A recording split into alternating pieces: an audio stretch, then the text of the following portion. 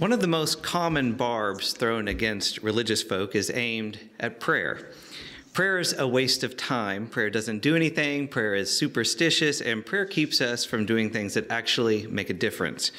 And it can be hard to argue with this, especially when we hear glib recommendations in the face of natural disaster or human tragedy. And for me, it's even worse when prayer is recommended as a way to make us more submissive to systems of oppression when we're asked to be patient, to pray a little, and hope things will turn out okay. As an example, I have no patience or interest in notions like those espoused by one minister to pray that a God will grant Donald Trump wisdom out of the air because, in her words, as Christians, we should pray that our elected officials will seek God and His will. God alone can change the heart of the king if the people of God would seek His will and not their own. Leaving off my objections to that statement, I especially object to this kind of thinking when it's part of a resignation to the way things are such as when the pastor went on to write that our current president has been chosen by the people and by the divine will of God, now let us honor God by honoring our current president as we render to God what God sees fit to do in America. So, I do believe people, even a person like Donald Trump, can have a change of heart. I don't believe it comes through wishful thinking but through the hard work of social change, through communities organizing, resisting, and embodying a better, more whole, and more peaceful and just way of living with one another. When it comes to injustice, we need to be saying no, not just saying our prayers. So I'm sympathetic with the criticisms.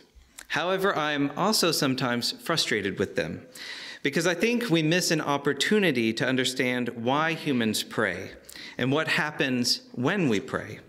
Most of these attacks are really directed against supernaturalism in general and not prayer itself.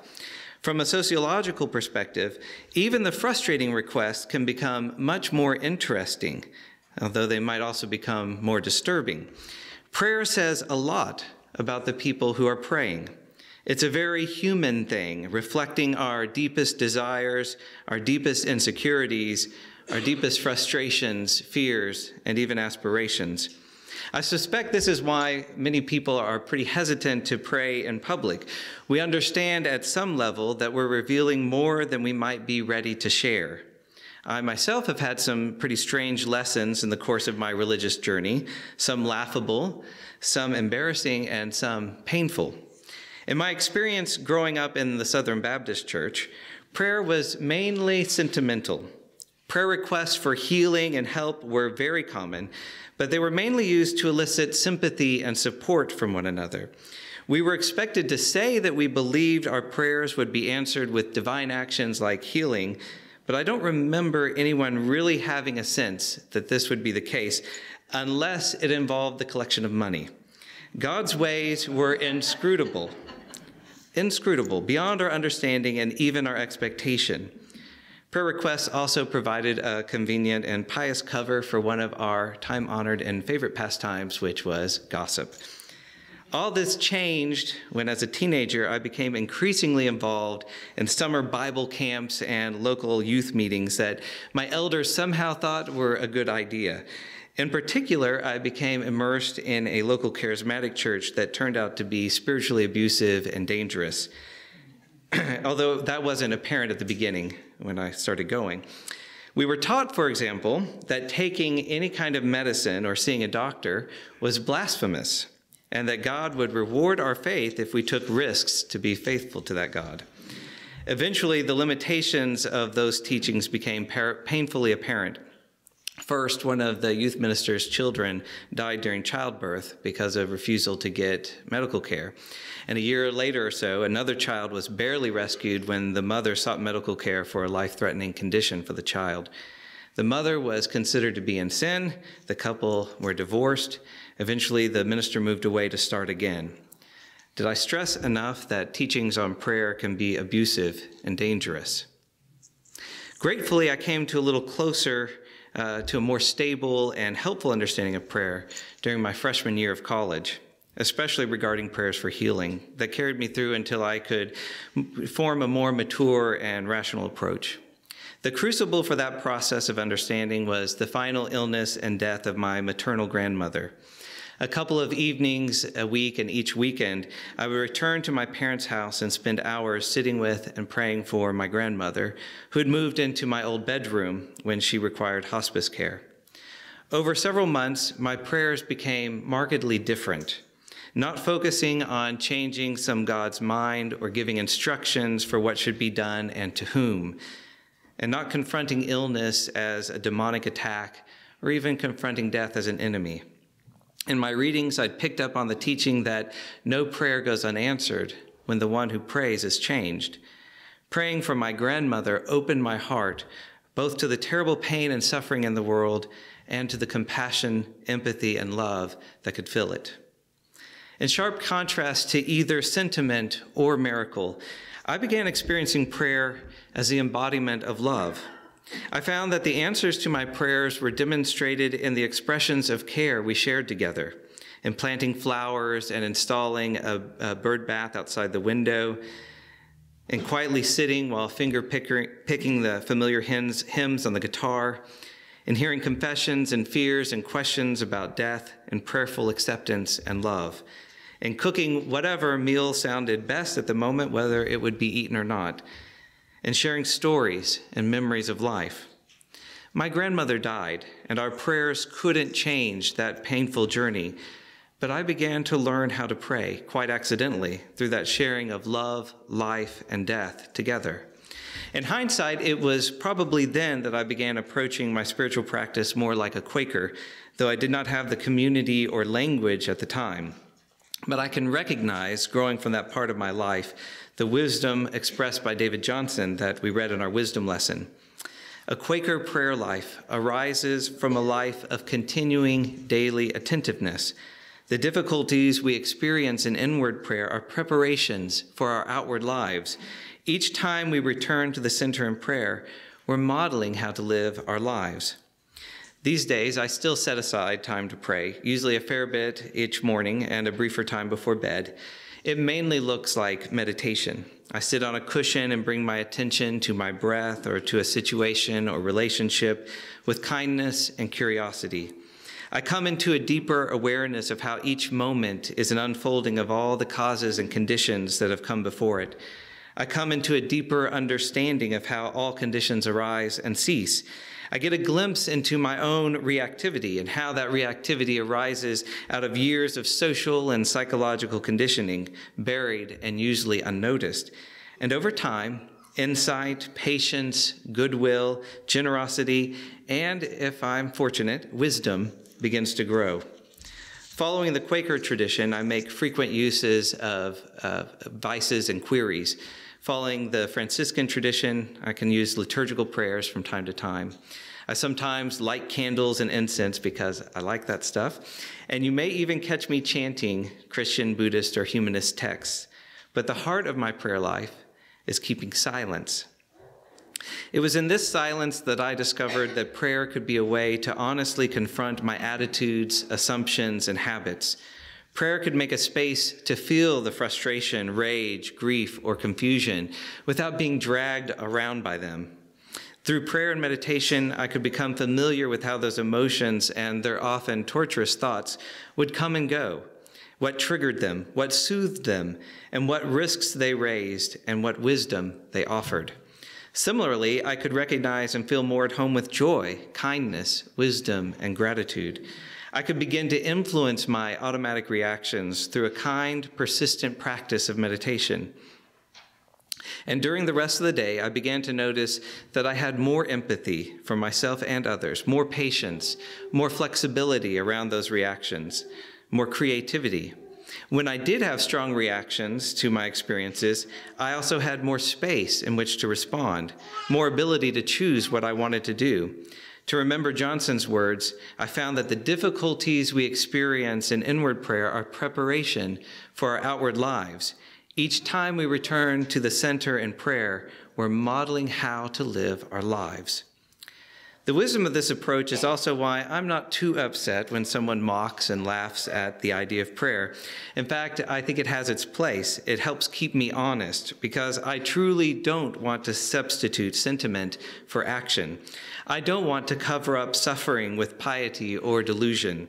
I want my prayer life to be a model for how I go through the day with curiosity, openness, kindness, gratitude, and a compassionate and passionate commitment to social justice and equality in community.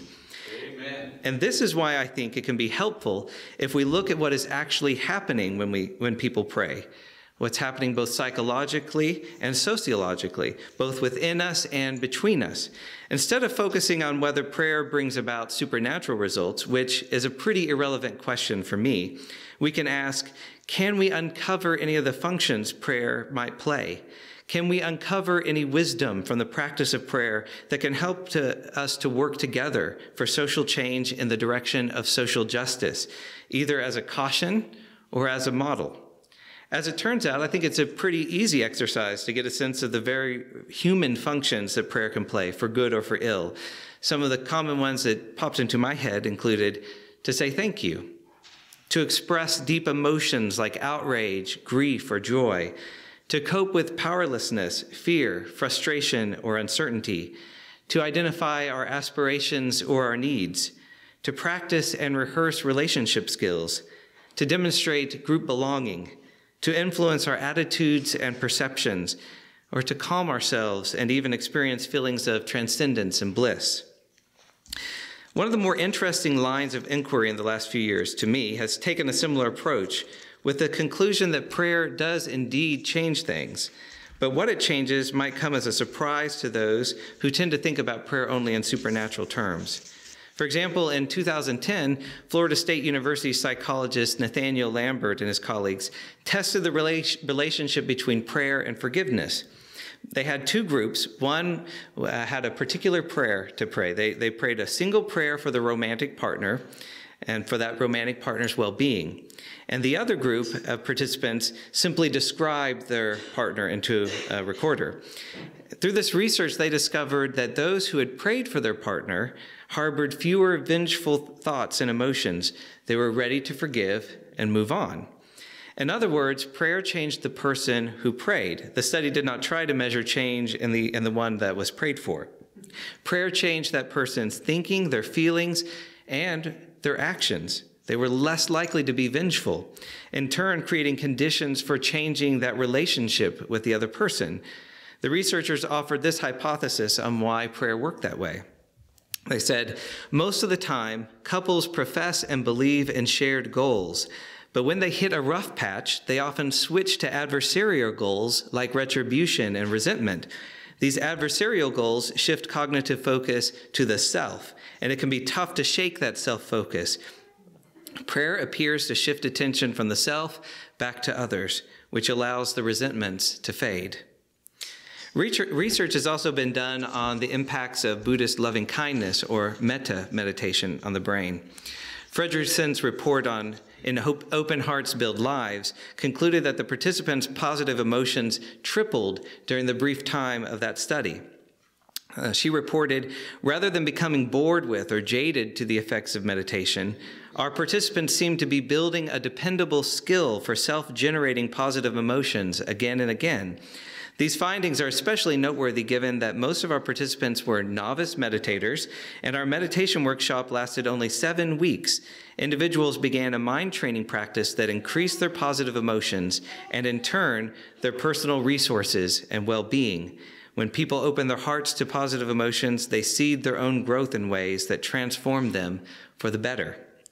Similarly, a group of researchers documented how loving kindness meditation increases social connectedness. They discovered that even a brief seven minute exercise in cultivating positive regard was sufficient to induce small to moderate changes, an especially important resource in a time of rising societal isolation and distrust. This kind of meditation may be especially helpful for naturalists, agnostics, humanists, non theists, post theists, trans theists, atheists, and others who may not want to use the language or rituals associated with theistic or supernatural forms of prayer. since metta, this loving kindness, is a quality to be cultivated and doesn't require addressing any supernatural being. But metta is also appropriate for people in religious traditions. It's a very simple practice that many will recognize as compatible with whatever prayer life they have, or that skeptics can practice without any religious convictions at all. And for me, metta is a wonderful practice that helps bring prayer and meditation into my daily life, how I relate to others, to those who suffer injustice and those who inflict injustice, to the very earth, earth itself my prayers are deeply connected with how I live, how I embody those prayers. Being centered in love after returning and resting in this attention, I can go back into the world with an equanimity and strength to pay attention to the deep suffering, to the deep wounds, to the deep needs around us. I can go back into the world with a heart overflowing with kindness, compassion, and joy. As Laurence Freeman, a Benedictine monk and director of the World Community for Christian Meditation, has taught, meditation, we soon come to realize, is a way of love because it is a way of attention. But there's a further consideration for me. That is, how do we build a bridge from prayer and meditation as personal practices that bear the fruit of love, kindness, and wisdom to communities of faith that bear the fruit of justice and peace? One of today's lectionary readings, if we had read it, contains an iconic verse about prayer. In this memory of the early church, Acts 2:42 notes that the community of faith devoted themselves to the apostles' teaching and fellowship, to the breaking of bread and the prayers. Whatever we think about the prayers of those followers of Jesus described in the book of Acts, we cannot say that their prayers made them passive, apolitical, or ineffective. In fact, this was a community that had all things in common, a community that was so committed to social justice and equality that they would sell their possessions and goods and distribute the proceeds to all as any had need. They had glad and generous hearts. And it should be emphasized, they weren't exceptions. These weren't the unusual idealists who stood apart from the crowd. The book of Acts goes out of its way to say that this was everybody, all who believed. This was the community that would insist, as the book of James has it, that religion that is pure and undefiled before God is this to care for orphans and widows in their distress. Practices such as prayer connected that community to what was best in their cultural memory, to have regard for the most vulnerable, to show respect and care to one another, and to do so on the basis of radical equality. In this description, I'm reminded again of James Cone's wisdom. In situations where we face systems of oppression, which is a pretty fair description of most of the world for most of the last maybe 10,000 years, we have only two alternatives. One, to accept the oppressor's value system and way of looking at the, uh, at the world, and thus be contented with the place set for them by others, or two, to find a completely new way of looking at reality that enables us to fight against oppression. For me, prayer can be one of those paths toward looking at reality in a way that empowers us to fight against oppression, to continue in faithfulness even when we might otherwise succumb to discouragement and despair, by cultivating a relationship with our daily experiences that is oriented around grace, oriented around honesty that is also wise and kind, we have an alternative to acquiescing to the way things are. In the place of prayer, there is a refuge for justice and mercy. There can be a refuge where we can find healing, courage, and grace to sustain us. Prayer, meditation, sharing hospitality, sharing teachings, and other spiritual practices the kind of things that make up uh, any given Sunday here at our, at our place of, of meeting can not only be community experiences, they can also be community expressions, a community's embodiment of that fight against oppression. By participating in, a, in community, we engage in practices that shape our perceptions, that influence our emotional and interpretive reactions, that give us opportunities to act on our convictions. From a psychosocial point of view, this is what that description in Acts 2 was all about. But there are challenges.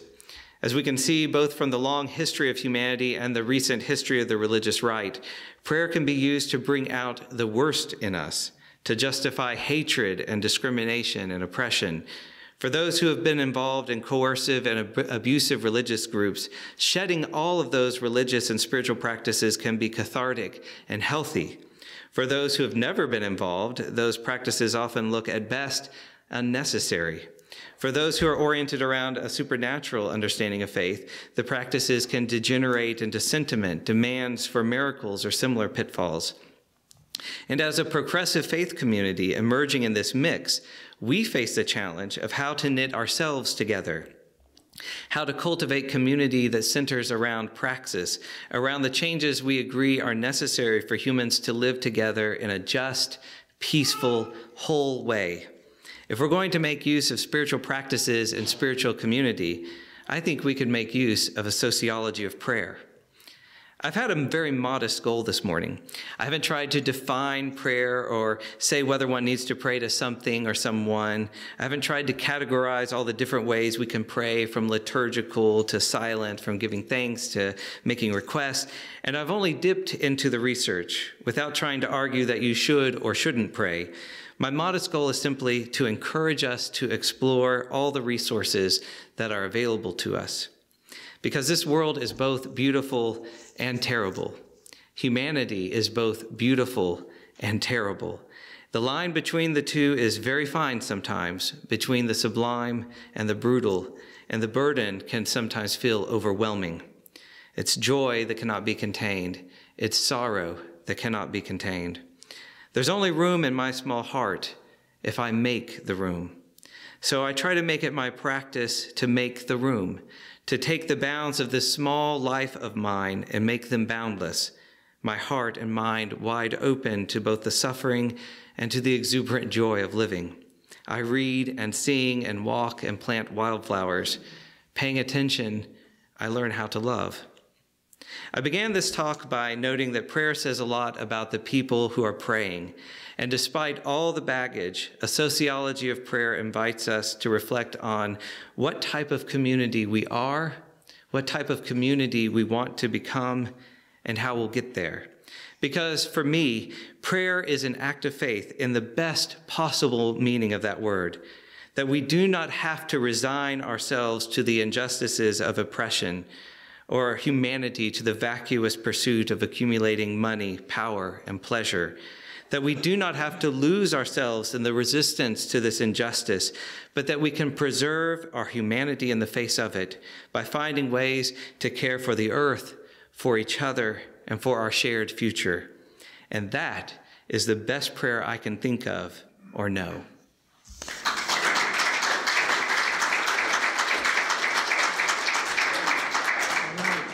Thank you for watching our videos. We are entirely dependent on the donations of our listeners and members.